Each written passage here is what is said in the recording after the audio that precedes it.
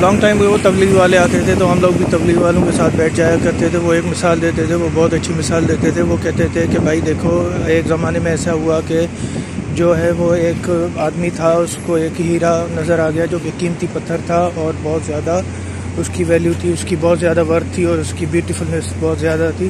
تو مگر اس کو پتہ ہی نہیں تھا، وہ بیوقوف تھا۔ اس نے یہ کیا کہ اس کا ہار بنا کر اپنے ڈونکی کو پہنا دیا۔ تو قریب سے ہی ایک جوہری گزرا جولر گزرا، اس کی تو یہ فیلڈ تھی پریشس اسٹونز اور قیمتی پتھر، اس کو تو اس کی ویلیو کا بھی پتا تھا ورتھ کا بھی پتا تھا بیوٹیفلنس کا بھی پتا تھا کیوٹنس کا بھی پتا تھا اور سویٹنس کا بھی پتا تھا۔ تو اس نے اسے پوچھا کہ یہ ڈونکی پر جو تم نے ہیرا لگایا ہو اس کی یہ کتنے میں مجھے دو گے؟ تو اس نے کہا کہ میں نے ایک روپے میں لیا ہے، تم اگر دو روپے مجھے دے دو تو اچھا ہو جائے گا۔ اس نے فوراً دو روپے دے دیے اور وہ پتھر جو ہے وہ خرید لیا۔ تو جب پتھر وہ خرید لیا تو جب وہ ڈونکی کے نیک میں تھا تو وہ بڑا چمک رہا تھا، مگر جیسے ہی جوہری کے جولر کے ہاتھ میں آیا وہ ضائع ہو گیا۔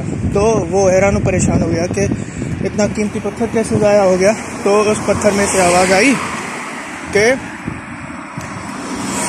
کہ واہ یار، واہ آفرین ہے تیرے پر کہ تمہیں تو سب کچھ پتا تھا، میری ویلیو کیا، میری ورتھ کیا، میری بیوٹیفلنس کیا، میری کیوٹنس کیا، میری سویٹنس کیا، تمہیں سب کچھ پتا تھا، مگر اس کے باوجود بھی آفرین ہے تم پر۔ واہ یار، واہ، تم نے میری قیمت کتنی لگائی صرف دو روپے اس نے کہا کہ یہ اس کی ورتھ کوئی بھی، اتنی مطلب اربوں روپے کی ورتھ اور تم نے صرف دو روپے ورتھ لگائی۔ تو اس نے کہا کہ میں کیا کروں؟